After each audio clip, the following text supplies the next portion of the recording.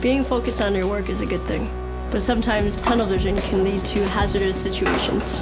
I need a helmet that is comfortable and allows me to use my peripheral vision so I can stay aware of what's going on around me.